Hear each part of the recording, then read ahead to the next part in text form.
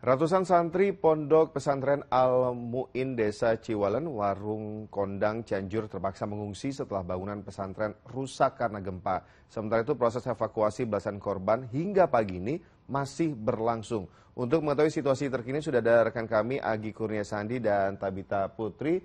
Kita ke Agi dulu. Agi silakan laporan Anda pagi hari ini, Agi. Ya selamat pagi Reza dan juga saudara. Saat ini saya berada di salah satu pesantren yang terdampak parah yakni pesantren Al Muin, Desa Ciwalen, Kecamatan Warung Kondang. Di sini pesantren terdampak akibat dari gempa yang terjadi sepekan lalu yang di, di Cianjur, Jawa Barat. Kondisinya ada beberapa bangunan yang rusak seperti yang di belakang saya. Ini merupakan tempat masjid yang biasa digunakan oleh para santri untuk melakukan proses belajar mengajar. Tetapi karena pekan lalu adanya gempa yang berkekuatan 5,6 skala liter, sehingga inilah membuat bangunan masjid yang biasa digunakan digunakan untuk belajar ini rusak. Selain itu, yang tadi disampaikan oleh pihak dari pengelola pesantren juga mengatakan bahwa ada beberapa bangunan yang rusak selain masjid di tempat saya melaporkan ini. Di antaranya ialah asrama putra yang cukup parah karena memang sudah hancur dan tidak bisa lagi ditempatkan. Kemudian juga e, beberapa ruangan yang biasa digunakan ini juga tidak bisa digunakan lagi oleh para santri. Sehingga ini membuat para santri ini harus belajar di dalam tenda pengungsian di mana tenda pengungsian ini juga digunakan un, menggunakan terpal seadanya dan biasanya digunakan untuk proses belajar mengajar pada malam hari bersama dengan warga yang ikut terdampak.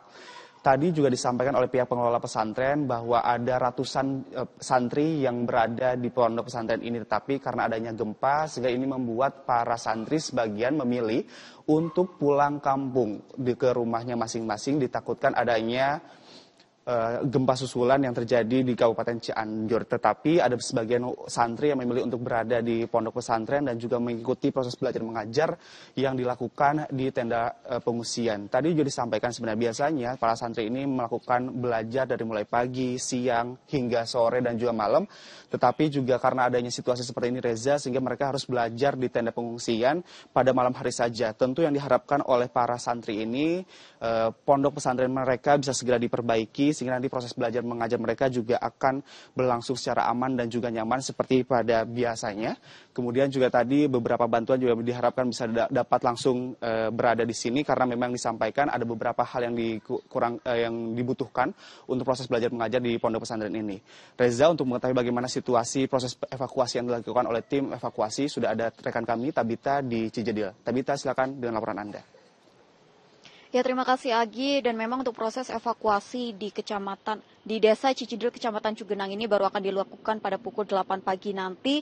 Untuk proses evakuasi sendiri seperti yang lihat di belakang saya bahwa terlihat bekas dari tanah longsor yang mengubur beberapa rumah di kawasan ini ataupun jalan yang juga tertutup oleh tanah longsor akhirnya berhasil dibuka oleh tim petugas Eh, sejak kemarin namun hingga hari ini memang untuk masyarakat sendiri dilarang untuk melalui kawasan ini karena ditakutkan longsor susulan akan terjadi saat tim melakukan proses pencarian dan evakuasi korban. Saya akan gambarkan lokasi atau situasi saat ini memang terlihat ada beberapa rumah yang di desa Cicidil ini yang berhasil selamat. Namun jika Anda melihat rumah biru ini dari depan mungkin terlihat aman, tapi di bagian belakangnya ini mengalami kerusakan parah dan tentu saja terlihat ada beberapa kendaraan yang berhasil dievakuasi dan sudah rusak tidak bisa digunakan.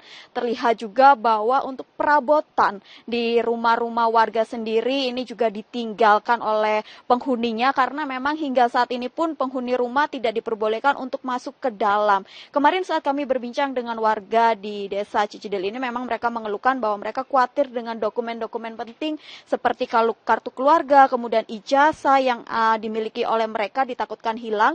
Namun petugas menyampaikan bahwa situasinya hingga saat ini masyarakat tidak diperbolehkan untuk masuk karena takutnya bangunan ini akan mengalami kerobohan saat gempa susulan ataupun saat longsor terjadi. Karena memang sejak kemarin masih terjadi gempa susulan di kawasan ini total ada 277 gempa susulan yang terjadi. Dan hal ini membuat masyarakat sekitar memang panik namun petugas meminta untuk masyarakat tetap waspada. Sementara demikian kembali ke studio. Reza.